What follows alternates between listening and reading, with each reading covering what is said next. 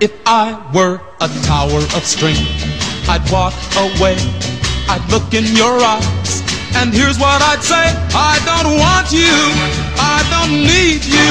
I don't love you anymore. And I'd walk out the door. You'd be down on your knees. You'd be calling to me.